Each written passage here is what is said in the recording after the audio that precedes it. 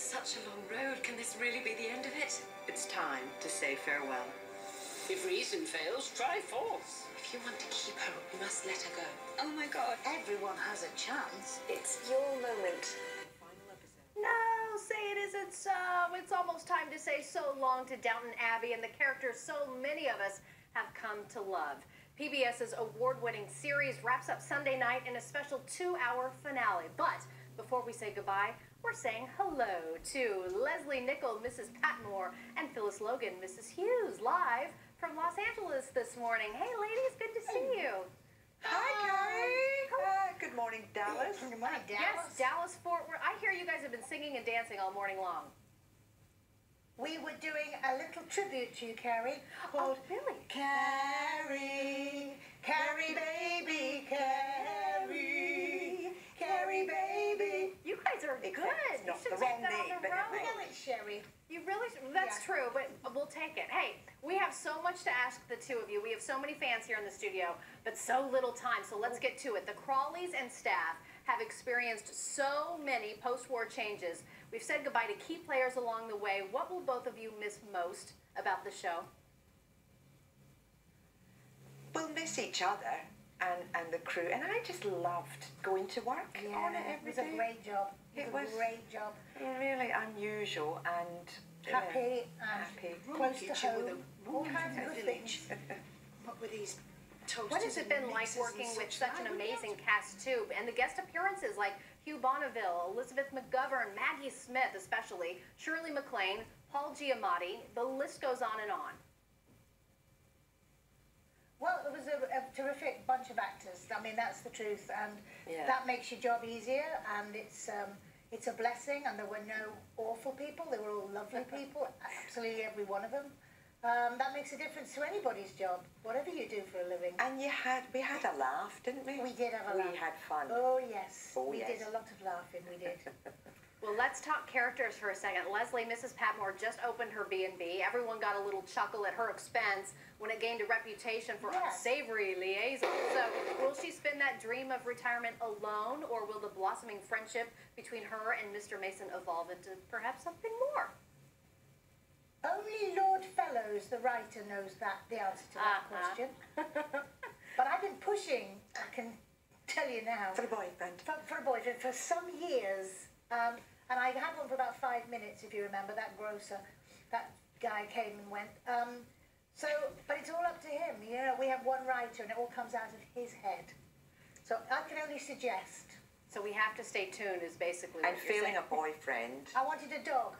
Well, Phyllis, Yeah, I didn't get a dog either. Phyllis, your character, Mrs. White Hughes, and head butler, Mr. Carson, finally got married. Both are in their later years. They've had some marital growing pains. Are they going to be truly happy? We want them to be truly happy.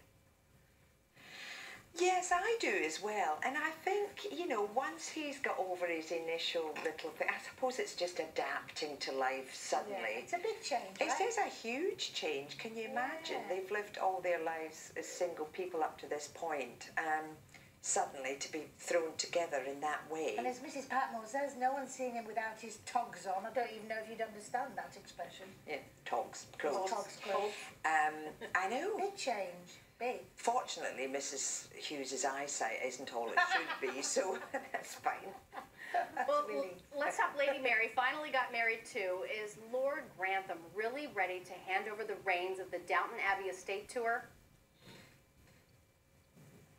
To handle hand over the reins to her. I think he's getting there. Yes, I think so. She's she's matured quite a lot, hasn't she? Yes. She's stopped and she looks well capable She does actually. of yeah. um, I think taking we- on that the thing is, we've in later years realised how many strong women there are in this show. Actually, I mean, she being a fine example of it, but they're they're they're. Yes, bunch of- Daisy as well. So Daisy's finding her feet. Oh, all the women are kind of, kind of tough. Yeah. It's kind of tough. Strong. Okay, what about Edith? Will Bertie find a way to trust and forgive her for not telling him that Marigold was her We're not daughter? going to tell you that. We're not going to tell you anything about that because you need to see the final episode, I think, which they're going to on Sunday. which you're going to on Sunday.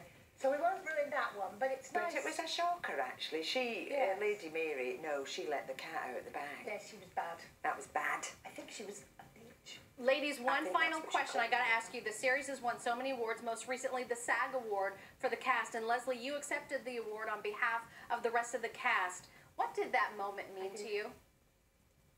Ooh, ooh, it was a real mixture. When when our name was was called out, honestly, I don't think we thought we were going to win for a number of reasons. We've already ha- ha- won twice, and and the um, All these fantastic amazing shows. shows we were up against. So so it was a mixture. Then somebody took a picture actually of the moment where you can see me going, yay, ah, because I knew I was speaking, and it was.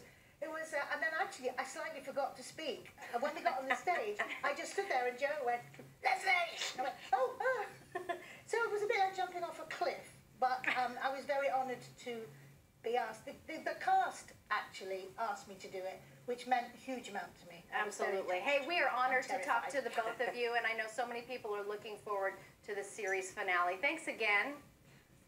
Thank you. Thanks, Carrie. All Bye, right. Dallas. Bye. Okay, again, all questions will be answered on the final episode of Downton Abbey this Sunday at 8 p.m. on E KER.